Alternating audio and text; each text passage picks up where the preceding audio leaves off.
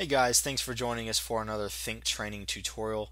In this tutorial, I'm going to be talking about last week's solution, the way I went about solving it. I'm going to present you guys with a new solution for this week to solve, and I'm going to sign you guys off with a think tip just like I did in the last video.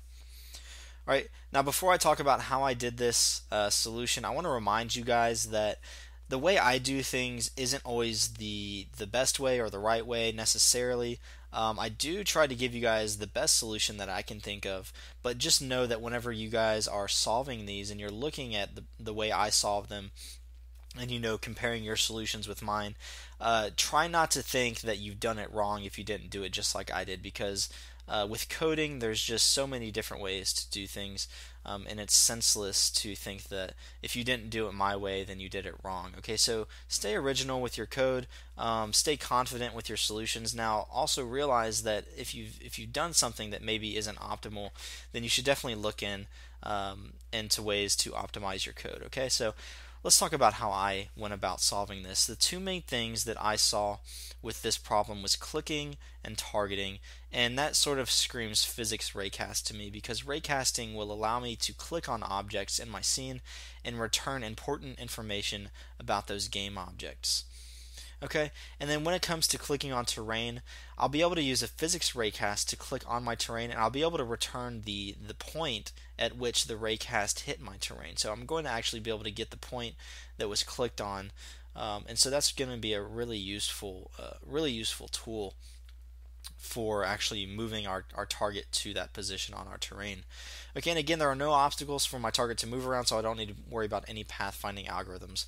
Let's go ahead and take a look at my project to see sort of how it looks. I can click around. My little guy doesn't move anywhere. Once I click him, though, he becomes targeted. Now, anywhere that I click, he'll actually move to. Okay, so if your if your uh, project doesn't look like this, don't worry. I've done some extra things that weren't required in the solution. I added this green texture underneath the player. If you guys want to know how to do something like that, it's definitely a good thing to know how to do. Um, leave comments in the comment section below if you want to request that, and I'll I'll probably do a video on that anyway. Um, but that's definitely a good thing to know how to do. But again, it wasn't required, so don't worry if you don't have anything like that.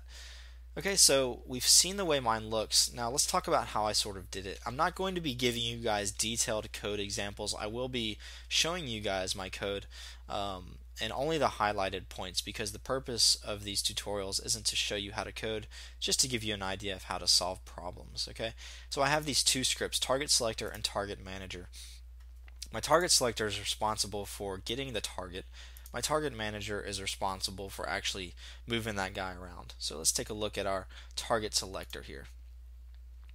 Now the main point that you guys need to worry about is this get targets method and don't worry about anything from remove projectors and the lines below that because that is relating to the, the green texture that you saw underneath my player.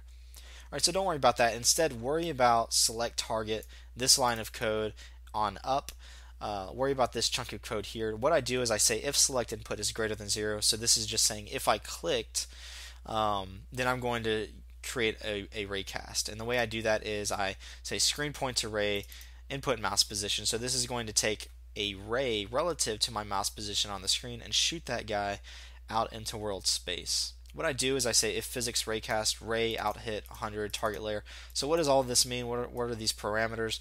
Take a look at Unity's API for physics raycast. You'll get more insight onto what this stuff means. Um, but basically, the ray is going to be the the actual ray that I'm shooting into the world. Out hit is going to be the the hit information of the object that the raycast hit. 100 is the distance of my raycast. Target layer is the object that I'm looking to hit. So I can actually narrow it down by layers to determine um, what objects, what what layer am I looking to hit objects on. Okay, so if I hit a target on my target layer, I'm going to say select target. Um, and what this does is it's it triggers an event. So I create this event up here. This is my select target event. So what this does is it flags an event. My target manager is going to respond to that event right here. So select target, that's where it responds to the event. Okay, again, this is my target manager. What I do here is I set my target and I set my target position. Okay, so once I have a target, let's go up to my update method here. If I have a target, I'm going to check for a new position. So let's look at check for new position. What I do is my second raycast, and my second raycast does exactly what my last raycast did, only it's not looking for a target layer, it's looking for the ground layer. So if I hit anything on my ground layer, what I have the ability to do is out hit the point and put that point into my next position. So the point at which the raycast hit the ground is going to be my next position, which is exactly what we wanted. Once I have next position, I can actually move to the target point, pass next position to it. And what I do with next position is I lerp my target's position to that point. Okay, so here's my next position called point, and I'm lerping my target position to that point.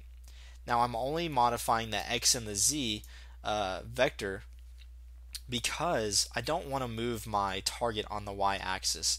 If I do that, it's going to continue trying to move into the ground because the hit point is going to return the point that's actually on the ground or in the ground. So I only modify the x and z values of the lerp. Okay, and that's sort of how I did it, guys. That's pretty much all there is to it. Um, again, I skipped around a lot, but I showed you the main point. So I'm going to be using a physics raycast to uh, get my target. I'm going to be using a physics raycast to get the point that I hit on the ground so I can actually move my target to that point. So that was my solution, guys. If you have any questions about how I did that, um, or I guess not really about how I did that, but how, how you guys did it. I want to know how you guys did it. Uh, send us emails, send us comments in, this, in the comment section below. If you guys have any questions about how you guys did it, or if you guys have a better way uh, of doing it, go ahead and let everybody know about that. Um, so yeah, we can talk about that stuff in the comments section. Let's talk about uh, this week's problem. So here's this week's problem. I have a cursor on my screen that I can move with my mouse. I want to be able to shoot projectiles in the direction my crosshairs are facing with relation to the position of my weapon. And we're going to assume the weapon is always in the center of the screen, okay? So you guys, think about that one. Uh, write some pseudocode, look up Unity's API for hints on how to solve it. Again, I want to reinforce the idea of not going to forums to see how other people did it. Go ahead and think about this one on your own for a little while. Here is this week's think tip verbs will reveal some of the methods you will need in your solution. So what I mean by that is when I give you guys the problem statements, and you guys should do this whenever you're actually creating your own projects, you know, write out what you want to happen.